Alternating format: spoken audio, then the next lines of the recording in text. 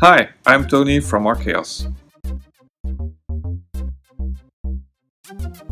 Hi guys, this is Tony from ArKaos and today we're going to talk about MIDI controllers. Um, I connected the APC40 Mark II to my system and let's see how to set it up. First of all, the important thing to do is the load the correct template.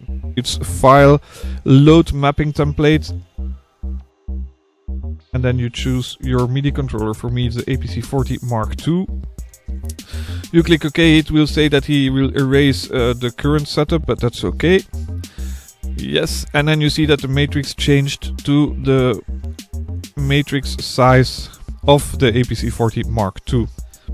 Next thing is file preferences and you go to the MIDI tab, you see that you find your MIDI inputs here. So you see the APC40 Mark II for me.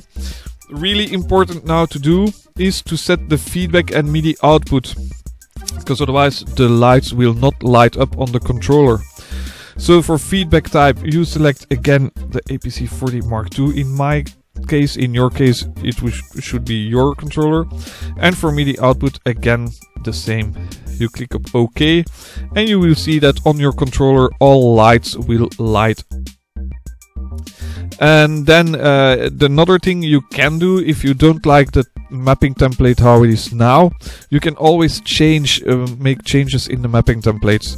So how do you do that? You just go to options edit MIDI mapping and everything that is green can be mapped uh, so then um, what can we do? Let's say you want the crossfader to be mapped.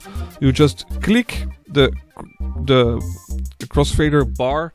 You move the slider you want to use for the crossfader and you will see here it um, shows that it is mapped. If you then go to option MIDI mapping again to go out of MIDI mode and you move that slider, you will see that your crossfader is mapped to it. So that is how you set up your MIDI controller. See you next time. Bye.